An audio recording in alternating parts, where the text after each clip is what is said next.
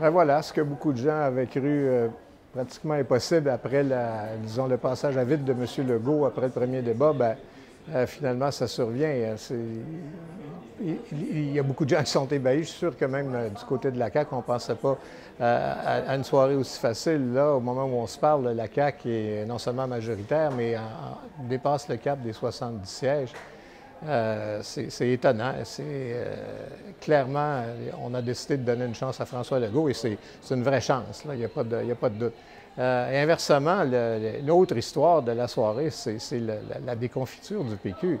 là, ils sont pratiquement nés à nez en termes de siège avec Québec solidaire et bon, Jean-François Lisée n'aura pas à, subir ou à vivre un calvaire dans les prochains mois et prochaines années parce que les électeurs de Rosemont semble-t-il, ont décidé de, lui faire grâce de ça. Euh, en, lui préférant Vincent Marissal de, Québec solidaire. Mais pour le PQ, c'est un véritable désastre. Quand M. Parizeau avait parlé d'un champ de ruines après l'élection de, 2014, euh, c'était rien. Moi, je suis convaincu que les, les, s'ils avaient refait le score de 2014 ce soir, euh, ils, auraient pratiquement ouvert le champagne. Euh, non, là, ça pose la question clairement d'existence même du Parti québécois. Euh, à partir de demain, il y a beaucoup de gens qui vont commencer à reparler de conversations avec Québec solidaire, de convergence, de fusion, de tout ce qu'on voudra. Mais euh, Québec solidaire, maintenant, remplace comme force avec laquelle il faudra compter. On, se parle en, termes de vote.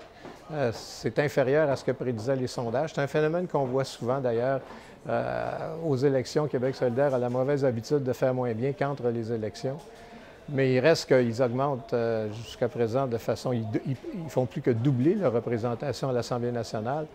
Euh, alors, c'est tout le paysage qu'on a connu depuis de quasi-bipartisme qu'on avait connu pendant si longtemps maintenant éclate complètement.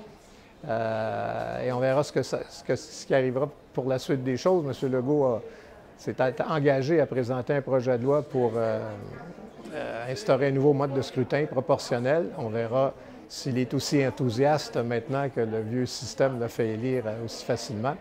C'est évidemment quelque chose qui pourrait changer énormément la, dynamique politique au Québec, mais pour ce soir, avec le vieux système, bien, M. Legault a vraiment toutes les raisons de triompher.